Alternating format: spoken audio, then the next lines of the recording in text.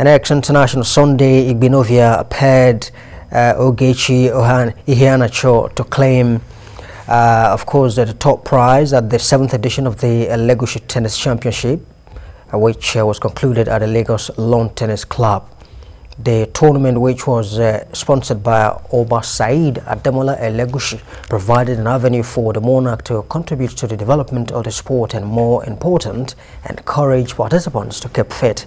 The blind double tournament had 46 players competing in one week championship with trophies, medals and valuable items presented to the winners, runners-up as well as players who made it to the quarter and semi-final stages.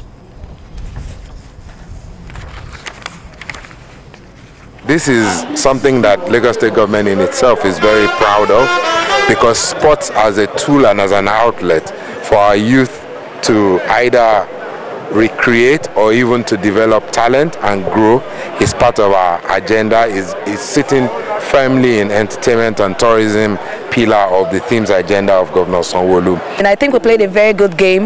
Um, I, I, think what was very uh, what, what, was very painful that at a very critical time when I needed to have broken at least one serve from my opponent, the other lady, I missed it. And the last point of the tournament, I was there, but I just don't know what happened. However, but I, I think I enjoyed the game. I played well. However, it's very painful to lose though. this competition has encouraged a lot of old people to start playing and um, a lot of new members to start having interest in playing tournaments rather because they wish to play but at, at the same time they're not, they're not that good to play so I think it's okay to encourage other members to play. There's so much we can do with sports.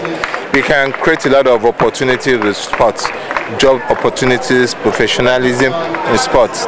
And uh, I want to reference the, the what is happening in Liberia you know, Liberia, we now, Liberia now has the president who was one time best footballer of the year, and uh, he's doing a lot for football. Sport brings peace, it brings love, and it brings everything around us.